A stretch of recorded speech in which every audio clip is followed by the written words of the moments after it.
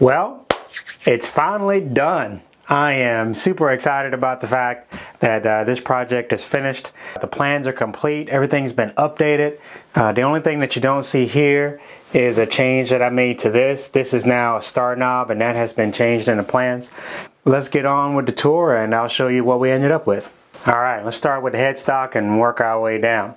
So as you can see, there's now a guard here. I wasn't um, initially planning to do a guard, but a couple people commented about safety. And so I thought for the safety conscious folks uh, I might uh, make an attempt at building a guard for the belt. This was my first attempt at making one. As you can see I left the film, now this is Lexan by the way, this is not the same as plexiglass. So its behavior is slightly different. But um, I would imagine the same precautions need to be taken that I'm going to tell you about and that is uh, when you're heating it, you want to spread the heat out nice and even. Try not to stay in one area too long, which is what I kind of did here, while it's more bubbly here, but nice and clear here in the middle. Because I was doing this, and so at the end, I was getting more time at the ends than I was in the middle. And so I changed my path a little bit uh, to even out the heat on this one. And as you can see, that looks a lot better. So there's a, a little quick tip about trying to heat and bend uh, Lexan in this case. So the, the guard is made in such a way that I can slip it off, but, uh, and these are just two tapped holes and uh, some 5 8 bolts here. And then that gap is just tight enough so we can slip it back on and when the lathe is running I've turned it all the way up to full speed and it doesn't vibrate or anything so I think I found just the right amount of snugness where you kind of got to uh, work it back in there but it doesn't vibrate or make any noise when you're using the lathe. Something else that's new is the control panel is uh, very similar to the one I had before. It's just bolted to the front and of course the cables run through the back. Uh, I've got a DC motor in there so uh, there's my on off switch and a potentiometer which is controlling my DC speed controller. As you can see we ended up with two tailstocks. We've got one that's designed to be used uh, with all shop made components. You just need to purchase fasteners. We've already used this guy before and uh, so we know it works well. I've taken the knob off to do something different with it. Uh, but of course I don't intend to use that tailstock. I primarily built that for you guys.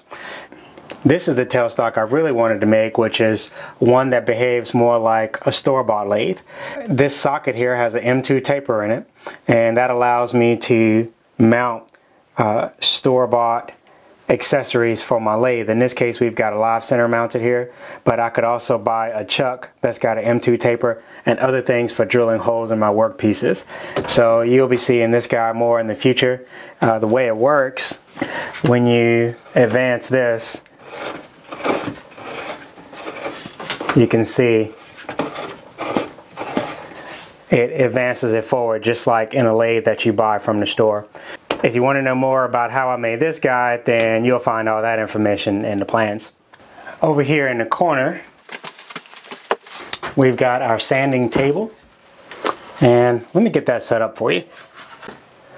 All right, I've got the sanding disc set up. Of course, this just screws on just like the chuck does.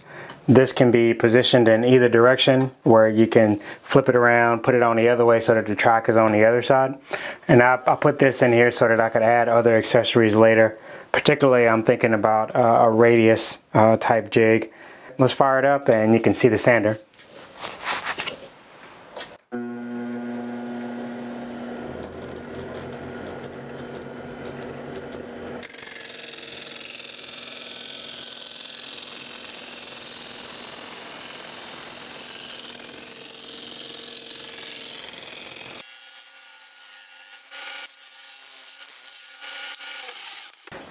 Well, that gives you an idea of what we got here.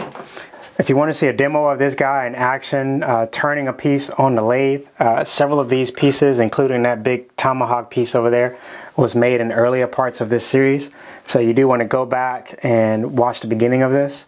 Uh, everything else is on my website, so feel free to follow the link in the description. It'll take you to my website where you can see lots of pictures of this guy. And of course, uh, there'll be an option to purchase the plans there. Uh, I'll go ahead and put a link here as well. So if you want to just open it in the video, it'll open in another window and you can go there after this. Well, I've got a 55 gallon drum full of plastic outside that's calling my name. Leave me some comments below. Let me know what you think of this project. Leave any questions down there and I'll see you guys pretty soon.